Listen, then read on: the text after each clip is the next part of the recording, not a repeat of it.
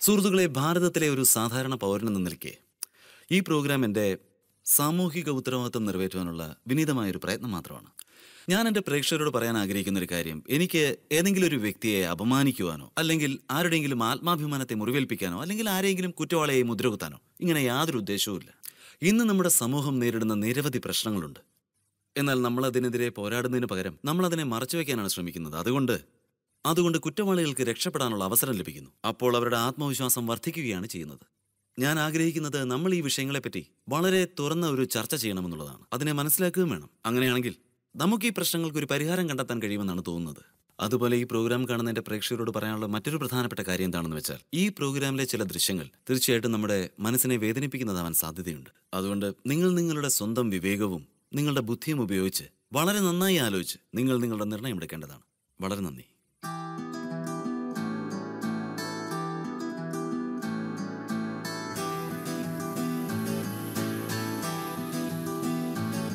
നിൻ സുഗന്ധമുള്ളിൽ തുളുമ്പുന്നു അത് സ്നേഹമായി അലഞ്ഞൊരിയുന്നു എൻ ഹൃദയ ചന്ദനവാടിയിൽ നിൻ വദനമാർദ്രമ വിരിയുന്നു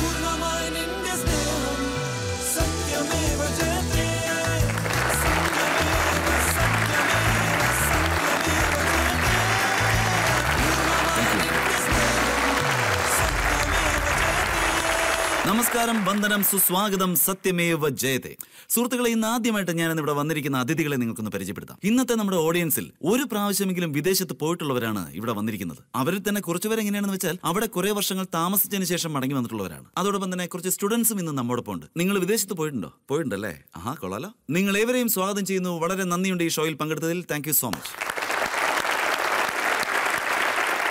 സുഹൃത്തുക്കളെ സാധാരണ നമ്മൾ സിനിമകളിൽ പ്രകൃതി സൗന്ദര്യം കാണിക്കാൻ ആഗ്രഹിക്കുമ്പോൾ ഹീറോയും ഹീറോയിനും തമ്മിലുള്ള റൊമാന്റിക് സോങ് കാണിക്കാൻ ആഗ്രഹിക്കുമ്പോൾ അല്ലെങ്കിൽ റൊമാന്റിക് സീൻ കാണിക്കാൻ ആഗ്രഹിക്കുമ്പോൾ ഞങ്ങൾ എന്താ ചെയ്യാന്നറിയോ? ഞങ്ങൾ ആ സീൻ കട്ട് ചെയ്ത ഉടനെ സ്വിറ്റ്സർലൻഡ് അല്ലെങ്കിൽ ഓസ്ട്രേലിയയിലേക്ക് പോകും. അല്ലെങ്കിൽ പിന്നെ ഏതെങ്കിലും വിദേശത്തുള്ള മറ്റേതെങ്കിലും സുന്ദരമായ സ്ഥലത്തേക്ക് പോകും. അങ്ങനെ എന്ത് പ്രത്യേകതയാണ് ഈ വിദേശ രാജ്യങ്ങളിലുള്ളത്? നമ്മുടെ ഭാരതത്തിൽ ഇല്ലാത്തതായിട്ട് ആർക്കെങ്കിലും അതിനുള്ള കാരണം അറിയോ? അവിടുത്തെ പ്രകൃതി രമണീയത. ബെസ്റ്റ് ഓഫ് ലൊക്കേഷൻ സൗന്ദര്യമുള്ള സ്ഥലം. പക്ഷേ ഭാരതത്തിലെ പ്രകൃതി സൗന്ദര്യത്തിന് എന്താ വല്ല കുറവുണ്ടോ? എത്രയോ മനോഹരങ്ങളായ സ്ഥലങ്ങളാണ് ഇവിടെ ഉള്ളത്. ആ മാഡം എന്താ പറയുക മനോഹാരിതയോടൊപ്പം ഇറ്റ്സ് വെരി ക്ലീൻ വൃത്തിയായിട്ടാണ് അവർ മെയിന്റെയിൻ ചെയ്തത് വളരെ ശരിയാണ് നിങ്ങൾ പറഞ്ഞത്. ഈ സ്ഥലങ്ങളുടെ എല്ലാം ഏറ്റവും വലിയ പ്രത്യേകത എന്താണെന്ന് വെച്ചാൽ ഈ സ്ഥലങ്ങളെല്ലാം വളരെ വൃത്തിയുള്ളതാ. നമുക്ക് എങ്ങോട്ട് വേണേലും ക്യാമറ തിരിക്കാൻ പറ്റും. ചപ്പും ചവറൊന്നും എവിടെയും കാണാൻ പറ്റില്ല. ഞാൻ വിദേശത്ത് പോകുമ്പോഴൊക്കെ എനിക്ക് തോന്നാറുണ്ട് ഇവിടെ നല്ല വൃത്തിയാണല്ലോ. നമ്മുടെ രാജ്യം മാത്രം എന്താ അങ്ങനെ അല്ലാത്തേ? ശരിക്കും പറഞ്ഞാൽ നമ്മുടെ രാജ്യത്ത് സൗന്ദര്യമുള്ള സ്ഥലങ്ങൾക്ക് ഒരു കുറവുമില്ല. പക്ഷെ നമ്മൾ നമ്മുടെ രാജ്യത്ത് എല്ലായിടത്തും മാലിന്യങ്ങൾ വിതറിയിരിക്കുകയാണ്. ശരിക്കും നമ്മൾ ഭാരതത്തിലെ ജനങ്ങൾ വൃത്തി ഇഷ്ടപ്പെടുന്നുണ്ടോ? വൃത്തി ഇഷ്ടപ്പെടുന്നുണ്ടോ ഇല്ലയോ? വൃത്തി ഇഷ്ടപ്പെടുന്നവർ കൈ ഉയർത്തേണ്ടതാണ്. ആ വൃത്തി ഇഷ്ടപ്പെടുന്നുണ്ടോ? ആ അപ്പൊ വൃത്തി ഇഷ്ടപ്പെടുന്നവരാണ്. വിദേശ രാജ്യങ്ങളിൽ ചില സ്ഥലത്ത് നമ്മൾ നോക്കുകയാണെങ്കിൽ അവിടെയുള്ള ആൾക്കാർ എല്ലാ ദിവസവും ഒന്നും കുളിക്കാറില്ല. ചിലപ്പോൾ ആഴ്ചയിൽ ഒരു ദിവസം കുളിക്കും ചിലപ്പോൾ രണ്ട് ദിവസം കുളിക്കും ചിലപ്പോൾ മൂന്ന് ദിവസം കുളിക്കും. നമ്മളാണെങ്കിൽ ഡെയിലി കുളിക്കുന്നവരാ. ചിലപ്പോൾ നമ്മൾ ദിവസം രണ്ടു പ്രാവശ്യം കുളിച്ചെന്നും ഇരിക്കും. നിങ്ങൾ കോഫി വിത്ത് കരൻ എന്നുള്ള പ്രോഗ്രാം കണ്ടിട്ടുണ്ടോ? അതിൽ ഞാനും കിരൺ ഒരു പ്രാവശ്യം പങ്കെടുത്തിട്ടുണ്ട്. അതിൽ കിരൺ പറഞ്ഞിട്ടുണ്ട് ഞാൻ കുളിക്കാറേ ഇല്ലെന്ന്. അത് വെറും കള്ളമാണ് നിങ്ങൾ ഒരിക്കലും വിശ്വസിക്കാൻ പാടില്ല. എന്നെ വെറുതെ നാണം കെടുത്താൻ വേണ്ടിയുള്ള ശ്രമമാണെന്നേ. പിന്നെ നമ്മൾ നമ്മുടെ വീടും വൃത്തിയായിട്ട് സൂക്ഷിക്കാറുണ്ട്. എല്ലാ വീടുകളും അത് പണക്കാരനാണെങ്കിലും ശരി പാവപ്പെട്ടവനാണെങ്കിലും ശരി എല്ലാ വീടുകളും ദിവസത്തിൽ ഒരു പ്രാവശ്യമെങ്കിലും നമ്മൾ തൂത്ത് തുടയ്ക്കാറുണ്ട്. ഞാൻ പറഞ്ഞത് ശരിയല്ലേ? അപ്പൊ അതിനർത്ഥം നമുക്ക് എല്ലാവർക്കും വൃത്തി വളരെ ഇഷ്ടമാണെന്നല്ലേ? ഇതെന്ത് വൈരുദ്ധ്യമാണ് സുഹൃത്തുക്കളെ? വൃത്തി ഇഷ്ടപ്പെടുന്ന ജനങ്ങൾക്ക് വൃത്തിയില്ലായ്മയിൽ ജീവിക്കേണ്ടി വരുന്നു. ഇതിന് കാരണമാകുന്നത് ഒരുപക്ഷെ നമ്മുടെ രാജ്യം ദരിദ്രമായതുകൊണ്ടാണോ? നമുക്ക് ശുചിത്വം സംരക്ഷിക്കാനായിട്ട് കാശ് ചെലവാക്കാനില്ലാഞ്ഞിട്ടാണോ? സുഹൃത്തുക്കളെ ഇപ്പോൾ ഞാൻ നിങ്ങളോട് പറയാൻ ആഗ്രഹിക്കുന്ന ഒരു കാര്യം നമ്മളുടെ മുനിസിപ്പാലിറ്റീസ് അവരുടെ ബഡ്ജറ്റിലെ ഒരു വലിയ ഭാഗം തന്നെ ചെലവാക്കുന്നത് ശുചിത്വ സംരക്ഷണത്തിന് വേണ്ടി മാത്രമാണ്. അതത്ര നിസ്സാരപ്പെട്ട തുകയൊന്നുമല്ല. ഞാൻ ഒരു ഉദാഹരണം പറയാം. നമ്മുടെ മുംബൈ നഗരത്തിൽ ഇതിനുവേണ്ടി നമ്മുടെ മുനിസിപ്പാലിറ്റീസ് രണ്ടായിരത്തി മുന്നൂറ് കോടി രൂപയാണ് ഇതിനുവേണ്ടി ചെലവാക്കുന്നത്. എന്നാൽ ഇപ്പം ഞാൻ പറയാൻ പോകുന്ന ഒരു മാർഗം. ഇത്രയും കാശ് ചെലവാക്കുന്നതിന് പകരമായിട്ട് നമ്മുടെ മുനിസിപ്പാലിറ്റികൾക്ക് നേരെ തിരിച്ച് കാശ് സമ്പാദിക്കാനുള്ളൊരു മാർഗമാണ് അതും ഈ മാലിന്യത്തിൽ നിന്ന്. പിന്നെ അവർ മാത്രമല്ല എല്ലാ വീട്ടുകാർക്കും സമ്പാദിക്കാൻ പറ്റും. അതിനോടെല്ലാം ഒപ്പം തന്നെ നമ്മുടെ രാജ്യം വളരെ വൃത്തിയുള്ളതായി തീരുകയും ചെയ്യും. നിങ്ങൾക്ക് എന്നെ വിശ്വസിക്കാൻ പറ്റുന്നുണ്ടോ? അതെങ്ങനെയാണെന്ന് അറിയാൻ ആഗ്രഹമുണ്ടോ? ഇത്രയ്ക്ക് ധൃതി വേണ്ട കേട്ടോ. ഇത്രയ്ക്കും ധൃതി വേണ്ട. ആ മാർഗം എന്താണെന്ന് ഞാൻ പറയാം. എന്നാൽ അതിനെല്ലാം മുൻപ് ആദ്യമായിട്ട് ഈ മാലിന്യങ്ങൾക്ക് എന്താണ് സംഭവിക്കുന്നത് എന്നറിയണ്ടേ? കാരണം ഞാനും നിങ്ങളുമാണ് അതെല്ലാ ദിവസവും ഉണ്ടാക്കുന്നത്. ഭാരതം സൃഷ്ടികർത്താവിനാൽ നിർമ്മിക്കപ്പെട്ടതിൽ വച്ച് വളരെ മനോഹരമായൊരു ഭൂപ്രദേശം. എന്നാൽ ഇതേ സുന്ദര ഭാരതത്തിൽ വളരെ ഭയാനകമായ ഒരു അവസ്ഥ രൂപപ്പെട്ടുകൊണ്ടിരിക്കുകയാണ്.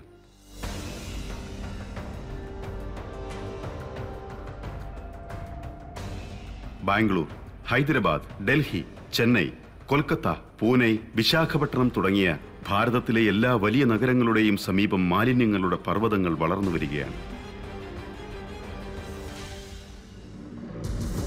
ഈ മാലിന്യങ്ങളുടെ ഉറവിടം നമ്മൾ ഓരോരുത്തരുടെയും വീടുകൾ തന്നെയാണ്. ഓരോ ദിവസവും ചെറിയ അളവിൽ നമ്മൾ അശ്രദ്ധയോടെ എവിടെയെങ്കിലും വലിച്ചെറിയുന്നതാണ് ഇവയെല്ലാം. നഗരവികസന മന്ത്രാലയത്തിന്റെ കണക്കുകൾ അനുസരിച്ച് നമ്മുടെ രാജ്യത്തെ നഗരങ്ങളിൽ പ്രതിദിനമുണ്ടാകുന്ന മാലിന്യങ്ങളുടെ അളവ് ഒരു ലക്ഷത്തി അറുപതിനായിരം മെട്രിക് ടണ്ണാണ്. അതായത് പ്രതിദിനം പതിനാറ് കോടി കിലോ മാലിന്യം. ഈ മാലിന്യങ്ങളിൽ പല വിധത്തിലുള്ള വസ്തുക്കളുമുണ്ട്. പച്ചക്കറികളുടെ അവശിഷ്ടങ്ങൾ ഭക്ഷണാവശിഷ്ടങ്ങൾ കുപ്പിച്ചില്ലുകൾ പേപ്പർ പ്ലാസ്റ്റിക് ഇഞ്ചക്ഷൻ ഉപയോഗിക്കുന്ന സൂചികൾ കാലാവധി കഴിഞ്ഞ മരുന്നുകൾ കെമിക്കലുകൾ റബ്ബർ വസ്തുക്കൾ ബാറ്ററികൾ അങ്ങനെ പലതും. നമ്മുടെ നഗരങ്ങളിലെ മുനിസിപ്പാലിറ്റികൾ ഈ മാലിന്യങ്ങളെ ശേഖരിച്ചു കൊണ്ടുപോയി ഉപേക്ഷിക്കുന്ന പ്രദേശത്തെ ലാൻഡ്ഫിൽ സൈറ്റ്സ് അല്ലെങ്കിൽ ഡംപിംഗ് ഗ്രൗണ്ട് എന്നാണ് പറയുക. ഈ സ്ഥലങ്ങൾ നഗരത്തിനുള്ളിലും നഗരത്തിന് പുറത്തുള്ള ഗ്രാമപ്രദേശങ്ങളിലും ഉണ്ടാകാറുണ്ട്. രാജ്യത്തിപ്പോൾ ആയിരത്തിലധികം ഏക്കറുകളിലായി ഈ ഡംപിംഗ് ഗ്രൗണ്ട്സ് വ്യാപിച്ചുകൊണ്ടിരിക്കുകയാണ്. അവിടെ ഉപേക്ഷിക്കപ്പെടുന്ന ഈ മാലിന്യങ്ങൾ എൺപത് മുതൽ നൂറടി വരെ ഉയരത്തിലായി കഴിഞ്ഞിരിക്കുന്നു. മുനിസിപ്പാലിറ്റികൾക്ക് പുതിയ സ്ഥലങ്ങൾ ലഭ്യമല്ലാത്തതിനാൽ വീണ്ടും ഇതിന്റെ ഉയരം വർദ്ധിച്ചുകൊണ്ടിരിക്കുന്നു.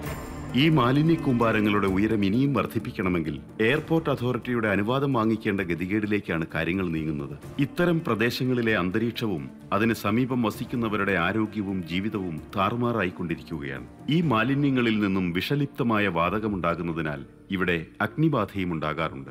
മറുഭാഗത്ത് ഈ മാലിന്യങ്ങൾ നനഞ്ഞു ചീയുന്നതിലൂടെ വിഷമയമായ ദ്രാവകവും ഒഴുകുവാൻ തുടങ്ങുന്നു.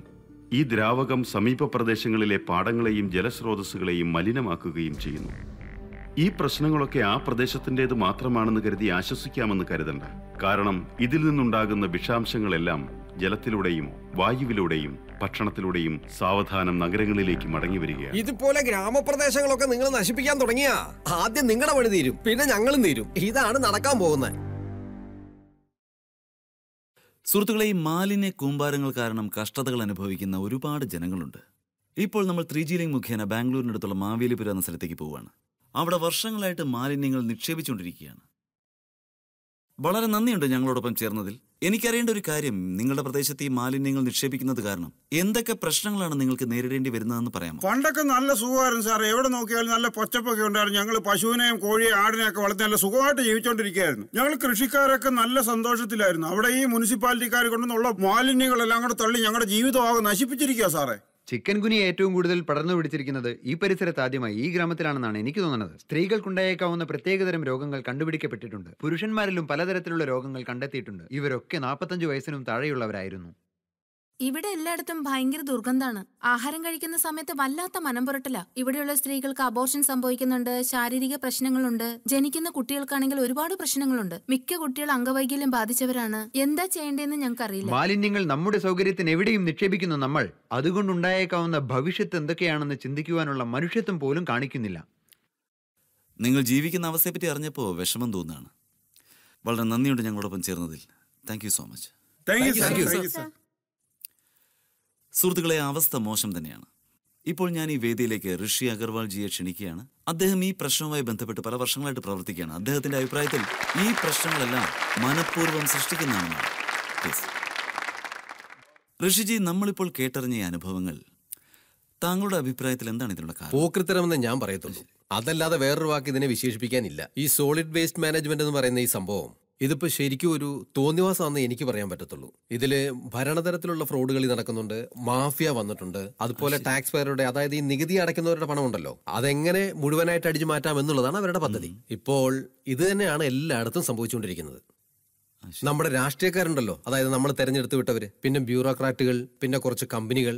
ഈ മൂന്ന് കൂട്ടരും ഇപ്പൊ ഒന്നായി സംഘടിച്ചിരിക്കുക അവരുടെ നോട്ടം ഈ പട്ടണത്തിൽ പട്ടണത്തിൽ ധാരാളം കാശുണ്ടല്ലോ. മുംബൈയുടെ ബഡ്ജറ്റ് ഇരുപത്തിയേഴായിരം കോടിയാണെന്ന് ഇപ്പൊ പറഞ്ഞതേ ഉള്ളൂ. അതിൽ രണ്ടായിരത്തി മുന്നൂറ് കോടി വേസ്റ്റ് മാനേജ്മെന്റിനുള്ളതാണ് ഇപ്പൊ എല്ലാവരുടെയും കണ്ണ് ഇതിനു മുകളിലേക്കാണ്. അതുപോലെ നിങ്ങൾ ഇപ്പോൾ ഈ വീഡിയോയിൽ കാണിച്ച ഇല്ലീഗൽ ആക്ടിവിറ്റീസിന് വാസ്തവത്തിൽ ഇന്ന് ഈ സമയത്ത് ഈ ബ്യൂറോക്രാറ്റ്സും പൊളിറ്റീഷ്യൻസും ഒക്കെ ശരിക്കും ജയിലിലാണ് കിടക്കേണ്ടത്. ഈ കോൺട്രാക്ട് കൊടുക്കുന്നതിലുള്ള സ്കാമും കള്ളത്തരങ്ങളും ഒക്കെ ആയിട്ട് വാസ്തവം പറഞ്ഞാൽ ഇത് ഒരു നാറ്റക്കേസായി മാറിയിരിക്കുവാണെന്ന് എനിക്ക് പറയാൻ പറ്റും. എന്ത് സ്കാമ എന്ത് കള്ളത്തരം നടക്കുന്നത് രണ്ട് കാര്യങ്ങളുണ്ട് ഇതിൽ ഒന്ന് ടിപ്പിംഗ് ഫീ പിന്നെ ട്രക്കിന്റെ ട്രിപ്പ് ടിപ്പിംഗ് ഫീസ് എന്താണെന്നൊന്ന് വിശദമായിട്ട് പറയാൻ പറ്റും ഈ ഡംപിംഗ് ഗ്രൗണ്ട് ഉണ്ടല്ലോ. അത് ശരിക്കും നമ്മൾ പൊതുജനങ്ങളുടേതാണ്. നിങ്ങൾക്കും എനിക്കും അവകാശപ്പെട്ടതാണ്. അല്ലാതെ ഒരു വ്യക്തിയുടെ സ്വത്തല്ല. എന്നാൽ ഒരു കോൺട്രാക്ട് മുഖേന ഒരു പ്രൈവറ്റ് പാർട്ടിക്ക് കൊടുക്കുകയാണ് ചെയ്യുന്നത്. ഈ പ്രൈവറ്റ് പാർട്ടിക്ക് നല്ല കാശും കൊടുക്കും. ഈ വേസ്റ്റ് അവർ പ്രോസസ് ചെയ്യുകയാണെങ്കിൽ അപ്പൊ പ്രോസസ്സിംഗ് ഇല്ല അവർ പ്രോസസ് ചെയ്യാറില്ല. എന്തായിരുന്നോ പഴയ അവസ്ഥ? കോൺട്രാക്ടിന് മുമ്പ് എങ്ങനെ വലിച്ചെറിഞ്ഞിരുന്നുവോ? അത് തന്നെയാണ് ഇപ്പോഴും ചെയ്യുന്നത്. അപ്പോഴും ഇപ്പോഴുള്ള ഡിഫറൻസ് എന്താണെന്ന് വെച്ചാൽ അപ്പോൾ ഫ്രീ ആയിട്ടാണ് വലിച്ചെറിഞ്ഞുകൊണ്ടിരുന്നത് എന്നാൽ ഇപ്പോൾ അങ്ങനെ വലിച്ചെറിയുന്നതിലൂടെ ചിലർ കാശുണ്ടാക്കുന്നു. അത് ശരി.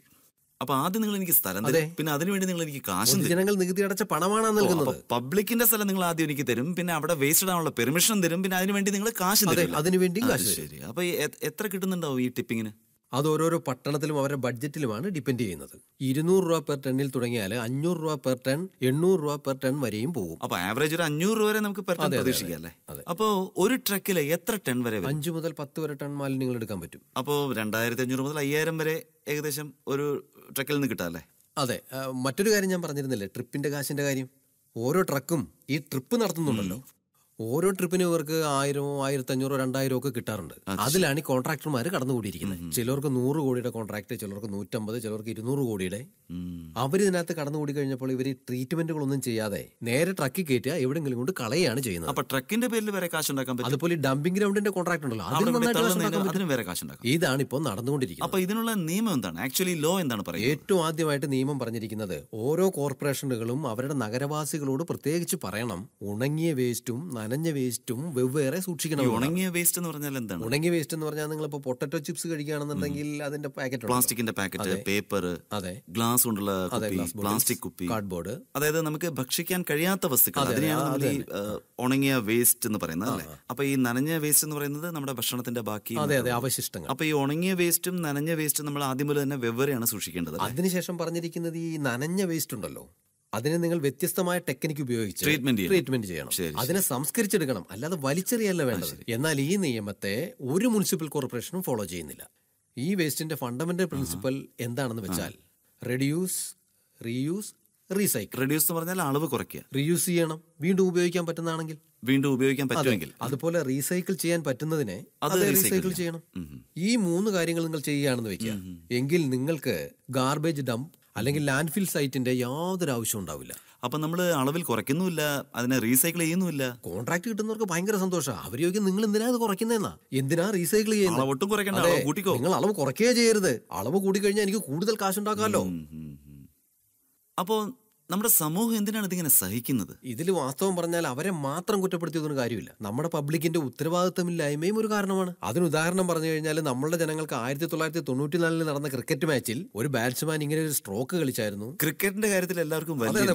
അതിന്റെ കാര്യം പറയുമ്പോൾ ദേശസ്നേഹം അതെ ആ സമയത്ത് അവർക്ക് ഭയങ്കര ദേശസ്നേഹമായിരിക്കും. എന്നാൽ ഇന്ന് ഈ മാലിന്യങ്ങളൊക്കെ എങ്ങോട്ടാ പോകുന്നതെന്ന് ജനങ്ങളോട് ചോദിച്ചാൽ നിങ്ങളുടെ വേസ്റ്റിനെ എന്താ ചെയ്യുന്നത് നിങ്ങളുടെ എം എൽ എ ആരാ? നിങ്ങളുടെ എം പി ആരാ? നിങ്ങളുടെ മുനിസിപ്പൽ കമ്മീഷണർ ആരാ എന്നൊക്കെ ചോദിച്ചാൽ അതിനെപ്പറ്റി ആർക്കും ഒന്നും പറയാനുണ്ടാവില്ല. മനുഷ്യൻ പത്തറുപത്തഞ്ച് വയസ്സ് വരെ ജീവിക്കുന്നുണ്ട്. പക്ഷെ ഇതിനെപ്പറ്റി എന്തെങ്കിലും ചോദിച്ചാൽ ആർക്കും ഒന്നും അറിയാൻ പാടില്ല. ഇന്ന് സംഭവിക്കുന്നത് ജനങ്ങൾ നികുതിയൊക്കെ അടയ്ക്കുന്നുണ്ട്. എന്നാൽ അവർക്കറിയില്ല ഈ പണം കൊണ്ട് എന്താ ചെയ്യുന്നതെന്ന് അതുകൊണ്ട് തന്നെ ഞാൻ നേരത്തെ പറഞ്ഞ മുപ്പതോ നാൽപ്പതോ അമ്പതോ പേരുടെ ആത്മധൈര്യം വളരെ കൂടിപ്പോയി. അവർ പറയുന്നത് ജനങ്ങൾ നല്ല ഉറക്കത്തിലാണെന്നാ. അപ്പോൾ നമുക്ക് ആഘോഷിക്കാം.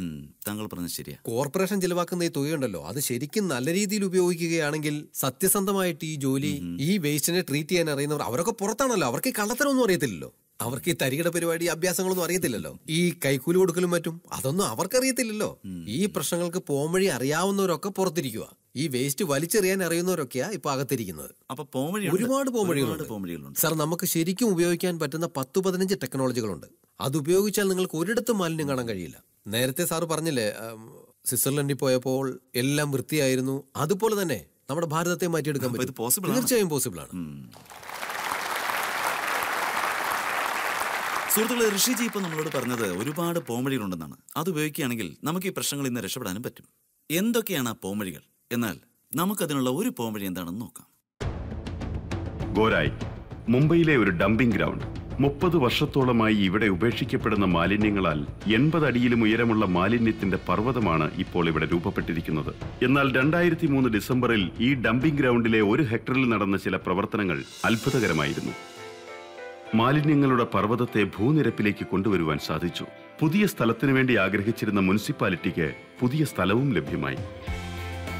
ചെളിക്കുണ്ടിൽ നിന്നും താമര വിരിയിക്കുന്നത് പോലെയുള്ള ഈ പ്രക്രിയ വെറും അറുപത് ദിവസം കൊണ്ടാണ് സാർത്ഥകമാക്കിയത്. ബ്രിജു മുന്ദ്രയുടെ അധ്വാനവും ഡോക്ടർ എസ് ആർ മാലിക്കിന്റെ ശാസ്ത്ര പരിജ്ഞാനവുമാണ് ഇതിനു പിന്നിൽ. മനസ്സർ സാർ സത്യം പറഞ്ഞാൽ എനിക്കിത് വിശ്വസിക്കാൻ പറ്റുന്നില്ല. ഇത്രയും വലിയ ഈ മാലിന്യങ്ങളുടെ മഹാപർവതത്തിനെ താങ്കൾ എങ്ങനെയാണ് ഈ സ്ഥിതിയിലാക്കിയത്? ഇത് മുംബൈ ഹൈക്കോടതിന്റെ ഓർഡറിന്റെ ഫലമായിട്ടുണ്ടായതാണ്. മുംബൈ ഹൈക്കോടതിയിൽ ജനങ്ങളുടെ ഒരു പെറ്റീഷൻ ഉണ്ടായിരുന്നു. ഈ മാലിന്യങ്ങൾ ഒരുപാട് കൂടി വരികയാണ്. അത്. അതെ കുറയ്ക്കാൻ വേണ്ടി പ്രാക്ടിക്കൽ ആയിട്ട് എന്തെങ്കിലും ചെയ്യണമെന്നുള്ള ഒരു ഓർഡർ അപ്പൊ ശരിക്കും എന്താണ് ചെയ്തത്? എങ്ങനെ ഇത് കുറച്ചത്? അവിടെ അവർ ഡംപ് ചെയ്തിരുന്നത്. ഈ സെഗ്രിയേറ്റ് ചെയ്യാത്ത മാലിന്യങ്ങളാണ് അവിടെ കൊണ്ട് ഇട്ടിരുന്നത്. ഇതെല്ലാം മിക്സ് ആയിട്ടുള്ള? അതിനകത്ത് ഭക്ഷണത്തിന്റെ അവശിഷ്ടങ്ങൾ ഉണ്ടായിരുന്നു. ഈ പഴയ തുണികൾ ഉണ്ടായിരുന്നു പ്ലാസ്റ്റിക്കും റബ്ബറും ടയറും ഒക്കെ ഉണ്ടായിരുന്നു. വലിയ പാറ കഷ്ണങ്ങൾ വരെ ഉണ്ടായിരുന്നു. അതൊക്കെ എന്തിനാന്ന് ചോദിച്ചാൽ ഈ വേസ്റ്റ് തൂക്കേണ്ടി വരുന്ന സമയത്ത് വണ്ടിയുടെ ഭാരം കൂട്ടി കാണിക്കാൻ വേണ്ടിയിട്ടാണ്. ഞങ്ങൾ ആ വേസ്റ്റ് എല്ലാം ആദ്യം സാനിറ്റൈസ് ചെയ്തു. സാനിറ്റൈസേഷൻ ഞങ്ങൾ ചെയ്തത് നാച്ചുറൽ പ്രോഡക്ട്സ് ഉപയോഗിച്ച് മാത്രമാണ്. അതിനുവേണ്ടി ഹെർബൽ മെറ്റീരിയൽസ് ആണ് ഞങ്ങൾ ഉപയോഗിച്ചത്. കെമിക്കൽ ഉപയോഗിച്ചത് ഇല്ല. ഇല്ലല്ല കെമിക്കൽസ് ഒന്നും ഉപയോഗിച്ചില്ല. ഇനി അത് ഉപയോഗിച്ച് ജനങ്ങൾക്ക് വല്ല പകർച്ചവ്യാധിയൊക്കെ ഉണ്ടായി കഴിഞ്ഞാൽ ഈ വയസ്സാം കാലത്ത് ബ്രിജിയും ഞാനും കൂടെ ജയിലിൽ പോയി കിടക്കേണ്ടി വരില്ലേ? പിന്നെ ഞങ്ങൾ ഈ എൻസൈം ഉണ്ടല്ലോ ബാക്ടീരിയയുടെ കാരണം ഈ വേസ്റ്റിൽ പ്രോട്ടീനും ഉണ്ട് എൻസൈം ഉണ്ട് ഷുഗർ ഉണ്ട് ഫാറ്റും ഉണ്ട്. അപ്പൊ വ്യത്യസ്തമായ ഈ ഘടകങ്ങൾക്ക് വേണ്ടി ഒരു ജൈവ മിശ്രിതം ഉണ്ടാക്കി ഞങ്ങൾ അതിന്റെ മേലെ തളിച്ചു. അപ്പൊ അവിടെയുള്ള ബാക്ടീരിയകൾ പ്രവർത്തിക്കാനും തുടങ്ങി. അപ്പൊ ഈ ബാക്ടീരിയ എങ്ങനെയാണ് പ്രവർത്തിക്കുന്നത്? ബാക്ടീരിയയെ പറ്റി ഞാൻ നല്ലൊരു ഉദാഹരണം പറഞ്ഞുതരാം. അത് പാൽ ഉപയോഗിച്ചുകൊണ്ടുള്ള ഒരു ഉദാഹരണമാണ് പാലും തൈരും. പാൽ രണ്ട് പാത്രത്തിലേക്കാക്കി ഒന്ന് ചൂടാക്കി അതിൽ ഒരു പാത്രത്തിൽ കുറച്ച് തൈര് ഒഴിക്കണം. മറ്റേതിലൊന്നും ചെയ്യണ്ട. ഒരു നാല് മണിക്കൂർ കഴിഞ്ഞ് ഈ രണ്ട് പാത്രത്തിൽ നമ്മൾ നോക്കുമ്പോൾ ഏത് പാത്രത്തിലേക്കാണോ നമ്മൾ തൈര് ഒഴിച്ചത് ഈ തൈര് ഒരു ലാക്ടോബസിലസ് ആണ്. അത് നല്ല തൈരായിട്ട് മാറി. നല്ല കട്ടിയുള്ള തൈരായിട്ട്. രണ്ടാമത്തെ പാത്രത്തിലെ പാൽ സ്പോയിൽഡ് ആയി പോയി. അത് പിരിഞ്ഞു പാൽ പിരിഞ്ഞു അതെ അതെ പിരിഞ്ഞു പോയി. കാരണം ഈ അൺവാണ്ടഡ് ബാക്ടീരിയകൾ ഉണ്ടല്ലോ അതാണ് ഇതിൽ അവർക്ക് പ്രവേശിക്കാൻ വേണ്ടിയിട്ട് പ്രത്യേക ഒരു കാരിയറിന്റെ ആവശ്യമൊന്നുമില്ല. അവരെപ്പോഴും അന്തരീക്ഷത്തിലുണ്ട്. അവരെവിടെ ലിക്വിഡ് മീഡിയം കണ്ടാലും അവരതിലേക്ക് ചാടി കയറുകയാണ് ചെയ്യാറ്. എന്നാൽ ഡിസിപ്ലിൻഡ് ആയിട്ടുള്ള ബാക്ടീരിയകൾ ഉണ്ടല്ലോ അവരോട് നമ്മൾ പറഞ്ഞു കൊടുക്കണം ഈ പണി ചെയ്യുക ഈ പണി ചെയ്യുന്നു. അതായത് ഈ നല്ല ബാക്ടീരിയകൾ എവിടെയെങ്കിലും സീറ്റ് ഒക്കുപ്പൈ ചെയ്തിട്ടുണ്ടെങ്കിൽ ഇതാ ഇപ്പൊ ഇവിടെ ഇരിക്കുന്നില്ലേ? അവരെ എല്ലാം ബാക്ടീരിയകളായിട്ടൊന്ന് സങ്കല്പിച്ച് നോക്കും. അവരെല്ലാം സീറ്റ് ഒക്കുപ്പൈ ചെയ്തിരിക്കുക അവിടെ വേറെ ഒരു ബാക്ടീരിയക്കും കയറി വരാൻ പറ്റില്ല. No bad person can come രണ്ടാമത്തെ പാത്രത്തിൽ നല്ല ബാക്ടീരിയകൾ ഇല്ലായിരുന്നു. അതുകൊണ്ട് ആവശ്യമില്ലാത്ത ബാക്ടീരിയകളെല്ലാം വന്ന് അതിനകത്ത് ചാടി പാലങ്ങ് രണ്ടാമത്തെ അതെ പാലം നശിപ്പിച്ചു അപ്പൊ ഞാൻ പറഞ്ഞു വരുന്നത് ഇത്തരത്തിലുള്ള നല്ല ബാക്ടീരിയകൾ ഡംപിംഗ് ഗ്രൗണ്ടിലെ ശരിക്കുള്ള ബാക്ടീരിയ നല്ല ബാക്ടീരിയകളെ എല്ലാം സംയോജിപ്പിച്ചാണ് ഞങ്ങൾ പ്രവർത്തിച്ചത്. ആൻഡ് ഡോണ്ട് കിൽ ഫ്ലൈസ് ഈ ഈച്ചകളെ കൊണ്ട് വേറെ ഉണ്ടെന്നാണോ വെറും രണ്ട് ഈച്ചകൾ അഞ്ചു ദിവസം കൊണ്ട് എഴുപതിനായിരം കുഞ്ഞുങ്ങളെയാണ് ജനിപ്പിക്കുന്നത്. അമ്മച്ചി. ഈ ചെറിയ ചെറിയ ഈച്ചകളുണ്ടല്ലോ. അവരെല്ലാം തിന്ന് തീർത്തോളും. ഈ ഇറച്ചി ഭക്ഷണത്തിന്റെ അവശിഷ്ടങ്ങളെല്ലാം. അവശിഷ്ടങ്ങളിൽ പ്രോട്ടീൻസ് ഒക്കെ ഉണ്ടല്ലോ. ഒരു ഈച്ച അടുത്തേക്ക് പറഞ്ഞു വരുന്നുണ്ട്.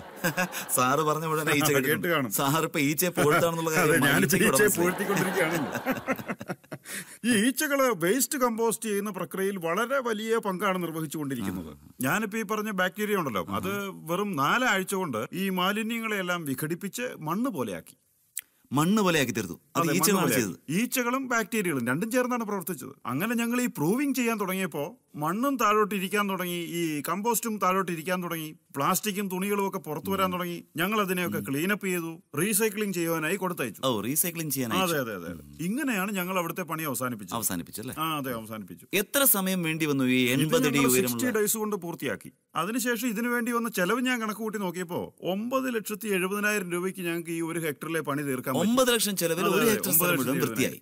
അതായത് ഞാൻ പറഞ്ഞു ഒരു ഇരുപത് ഹെക്ടറോളം സ്ഥലം വൃത്തിയാക്കാൻ എന്ത് ചെലവ് എല്ലാം കൂടെ കൂട്ടി നോക്കിയാൽ ഒരു മൂന്ന് കോടി രൂപയുടെ ജോലി പിന്നെ ഈ ജോലി പിന്നെ നിങ്ങൾക്ക് കിട്ടാതിരിക്കാനുള്ള കാരണം അത് മറ്റൊന്നുമല്ല ഞങ്ങൾ ഈ കണക്കുകളെല്ലാം അതോറിറ്റിയുടെ മുമ്പിൽ കൊണ്ടുപോയി സമർപ്പിച്ചു കഴിഞ്ഞപ്പോ അവർക്ക് തോന്നി കാണും ഈ മൂന്ന് കോടി രൂപയിൽ എന്ത് പണി ചെയ്യിപ്പിക്കാനാ എന്ത് ലാഭം ഉണ്ടാക്കാനാ. അവർക്ക് ഇത് വളരെ കുറഞ്ഞ തുകയായി അതെ വളരെ കുറഞ്ഞ തുകയായി ഇതിൽ നിന്ന് എന്ത് കൈയിട്ട് വരാനും തോന്നി കാണും അവർക്ക് വേണ്ടിയിരുന്നത് നല്ല വെയിറ്റ് ഉള്ള ബഡ്ജറ്റ് എഴുപത് കോടിയുടെ ബഡ്ജറ്റ് അതായത് ഈ എഴുപത് കോടിയുടെ ബഡ്ജറ്റ് വിദേശത്ത് നിന്ന് ഞങ്ങൾക്ക് മനസ്സിലാക്കാൻ പറ്റുന്നത് ഈ ക്യാപ്പിംഗ് ആൻഡ് ക്ലോഷർ എന്ന് പറയുന്നത് ക്യാപ്പിംഗ് ആൻഡ് ക്ലോഷർ എന്ന് പറഞ്ഞാൽ എന്താ? ക്യാപ്പിംഗ് ആൻഡ് ക്ലോഷർ എന്ന് പറയുന്നത് വേസ്റ്റ് എല്ലാം കൂടെ കൂട്ടിയിട്ട് അതിനെ മറച്ചു വെച്ച് അതിന്റെ മുകളിൽ പുല്ല് വളർത്തണം. അതിനർത്ഥം ഈ മോളിൽ അതെ അതിന്റെ മുകളിൽ കൂടെ ഈ പച്ച കളറുള്ള പരവതാനിയൊക്കെ മാലിന്യങ്ങളുടെ മുകളിൽ കൂടെ പൂച്ചെടികളും പുല്ലും ഒക്കെ പിടിപ്പിച്ച് ഇങ്ങനെ പുതപ്പിച്ച് അതെ പച്ച നിറമുള്ള ഒരു പുതപ്പിട്ട് അങ്ങ് മൂടും. അപ്പൊ അവർ പറയുന്നത് അവർക്ക് ഈ മാലിന്യം കാണേണ്ടി വരില്ല ഈ സൗന്ദര്യം ആസ്വദിക്കാൻ സാധിക്കുകയും ചെയ്യും. എന്നിട്ടിപ്പോ അവർ വന്ന് ഈ സ്ഥലം അറുപത്തി അറുപത്തൊമ്പത് കോടി രൂപ മുടക്കി അതിനെ പുതപ്പിച്ചു കോടി രൂപ. സമുദ്രനിരപ്പിൽ ശേഖരിച്ചു വെച്ചിട്ടുള്ള ഈ മാലിന്യങ്ങൾ അതിൽ നിന്നുണ്ടാകുന്ന ഈ ലീക്കേജ് ഉണ്ടല്ലോ. ടോക്സിക് ആയിട്ടുള്ള ആ ദ്രാവകം ഇപ്പോഴും ഇങ്ങനെ ഒഴുകിക്കൊണ്ടിരിക്കുക ആർക്കെങ്കിലും ഇപ്പൊ വയറിളക്കം ഉണ്ടായെന്ന് വിചാരിക്കുക. ഉടനെ നിങ്ങൾ അയാളുടെ വാപത്തി പിടിച്ച താഴെ കൂടെയുള്ള ലീക്കേജ് നിൽക്കുവോ? അതുപോലെ ആ ലീക്കേജ് ഒരിക്കലും നിൽക്കില്ല. അത് സമുദ്രത്തിൽ കലരും അത് മത്സ്യങ്ങൾ ഭക്ഷിക്കും. ആ മത്സ്യങ്ങളെയാണ് നമ്മൾ ഒക്കെ കഴിക്കുന്നത്. മലിസാബ് അപ്പൊ ശരിക്കും നമ്മൾ എന്താണ് ചെയ്യേണ്ടത്? ഈ മാലിന്യങ്ങളുടെ ഈ വലിയ വലിയ പർവതങ്ങൾ ഉണ്ടാകാതിരിക്കാൻ അതിന് ആദ്യമായിട്ട് ചെയ്യേണ്ടത് ഈ വേസ്റ്റ് ഉണ്ടാകുന്നിടത്ത് വെച്ച് തന്നെ അതിനെ രണ്ടായിട്ട് ഉണങ്ങിയതിനെയും നനഞ്ഞതിനെയും വെവ്വേറെ. ഈ നനഞ്ഞ വേസ്റ്റ് എന്ന് പറയുന്നതിനെ ഉടനെ തന്നെ കമ്പോസ്റ്റ് വളമാക്കണം. ഇങ്ങനെ ചെയ്യണമെന്ന് സുപ്രീം കോടതി ഓർഡർ ചെയ്തിട്ടുള്ളതാ. ലോകത്തുള്ള തൊണ്ണൂറ് ശതമാനം മാലിന്യങ്ങളും നമ്മൾ ഇപ്രകാരം വളമാക്കേണ്ടതാണ്. കമ്പോസ്റ്റ് ആക്കേണ്ടതാണ്. കമ്പോസ്റ്റിംഗ് കമ്പോസ്റ്റിംഗ് ചെയ്യേണ്ടത് കമ്പോസ്റ്റിംഗ് എന്ന് പറഞ്ഞാൽ വളമാക്കേണ്ടതാണ്. അപ്പോൾ അപ്പൊ ഇതിൽ നിന്നുണ്ടാക്കുന്ന ഈ വളത്തിന് വില വളരെ കൂടുതലായിരിക്കും. ഈ വളമുണ്ടല്ലോ ഇത് ശരിക്കും ബാലൻസ്ഡ് പ്ലാന്റ് ഫുഡാണ് അതായത് വളരെ സമീകൃതമായ ആഹാരമാണ്. എല്ലാ സസ്യങ്ങൾക്കും വളരെ നല്ലതാണ് എനിക്കറിയേണ്ട വേറൊരു കാര്യം. നമ്മുടെ രാജ്യത്തെ എത്രത്തോളം മാലിന്യങ്ങൾ ഒരു ദിവസം ഉണ്ടാവുന്നുണ്ട്? ഒരു ലക്ഷത്തി അറുപതിനായിരം ടൺ മാലിന്യമാണ് നമ്മുടെ നാനൂറ്റി ഇരുപത്തിനാല് മുനിസിപ്പൽ കോർപ്പറേഷനുകളിൽ നിന്നും പ്രതിദിനം ശേഖരിക്കുന്നത്. അത് ശരി. അപ്പോൾ ഈ ഒരു ലക്ഷത്തി അറുപതിനായിരം ടൺ മാലിന്യം അത് ആദ്യം തന്നെ വേർതിരിക്കുകയാണെങ്കിൽ നമുക്ക് അതിൽ നിന്ന് വളം ഉണ്ടാക്കാൻ പറ്റും. അതിനെ കമ്പോസ്റ്റ് ചെയ്യാൻ പറ്റും. ആ ചെയ്യാം. തീർച്ചയായും. അങ്ങനെ ചെയ്യുകയാണെങ്കിൽ നമുക്ക് എക്കണോമിക്കലി ഏകദേശം എത്രത്തോളം വളം ഉണ്ടാക്കാൻ പറ്റുമെന്ന് പറയാൻ പറ്റും ഇതിൽ നിന്ന് നമുക്ക് തൊണ്ണൂറ് ലക്ഷം ടൺ കമ്പോസ്റ്റ് വളം നയന്റി ലാക്സ് ടെൻ. അതെ ഒരു വർഷത്തേക്ക്. കമ്പോസ്റ്റ് ഒരു വർഷത്തെ ഉണ്ടാക്കാൻ പറ്റും. അത് മാത്രമല്ല ഈ തൊണ്ണൂറ് ലക്ഷം ടൺ കമ്പോസ്റ്റ് വളത്തിന്റെ വിലയുണ്ടല്ലോ. അത് ഏകദേശം ഒരു ഇരുപത്തിയേഴായിരം കോടി രൂപയോളം വരുമെന്ന് മനസ്സിലാക്കണം. ഒരു വർഷത്തെ ഒരു അതിൽ നിന്ന് മനസ്സിലാക്കേണ്ട കാര്യം ഈ വളം ഉപയോഗിച്ചാൽ നമുക്ക് നാൽപ്പത്തിയഞ്ച് ലക്ഷം ഏക്കറോളം ഭൂമി വെറും ഭൂമി തരിശു ഭൂമി ഫലഭൂയിഷ്ടമാക്കാൻ പറ്റും. അതിൽ നിന്നും തൊണ്ണൂറ് ലക്ഷം ടൺ ധാന്യമാണ് നമുക്ക് അധികമായി ലഭിക്കുന്നതെന്ന് മനസ്സിലാക്കണം. പിന്നെ എന്തുകൊണ്ടാണ് നമ്മുടെ രാജ്യത്ത് ഇങ്ങനെയൊക്കെ ചെയ്യാത്തതെന്ന് എനിക്ക് മനസ്സിലായി ഇതാണ് അവർ അതായത് നമ്മൾ തന്നെ ഉണ്ടാക്കുന്ന ഈ മാലിന്യം ഈ വേസ്റ്റ് എന്ന് പറയുന്നത് ഇത് റിസോഴ്സ് ആണ്. ഇത് വലിയൊരു റിസോഴ്സ് ആണ്. വിജയിക്കുമെന്നുള്ളതിൽ യാതൊരു സംശയമില്ലാത്തൊരു സിറ്റുവേഷൻ ആയിരുന്നു വളരെ സത്യമാണ്. എന്തായാലും നല്ല സാർ ഇത്രയും നേരം ഞങ്ങളോട് സംസാരിച്ചത് വളരെ വളരെ നന്ദി. താങ്ക് യു താങ്ക് യു അപ്പോൾ ഈ കമ്പോസ്റ്റിംഗ് എന്ന് പറയുന്ന ജോലി നമുക്ക് സ്വയം ചെയ്യാവുന്നതേ ഉള്ളൂ. നമ്മുടെ വീട്ടിൽ നമ്മുടെ ബിൽഡിംഗിൽ നമ്മുടെ സൊസൈറ്റിയിൽ നമുക്ക് ഇത് ചെയ്യാൻ പറ്റും. ഇതിനെ പറ്റിയിട്ടുള്ള കൂടുതൽ വിവരങ്ങൾ നിങ്ങൾക്ക് ഞങ്ങളുടെ വെബ്സൈറ്റിൽ നിന്നും ലഭ്യമാണ്. ഇവിടെ ഇപ്പോൾ ഞങ്ങൾ ഒരു ചെറിയ ബ്രേക്ക് എടുക്കുകയാണ്. തിരിച്ചു വരുമ്പോൾ നമുക്ക് കാണാം ഈ മാലിന്യങ്ങളെ എങ്ങനെ ഒഴിവാക്കാമെന്നുള്ളതിനെ പറ്റി മറ്റൊരു അത്ഭുതകരമായ ഉപായം.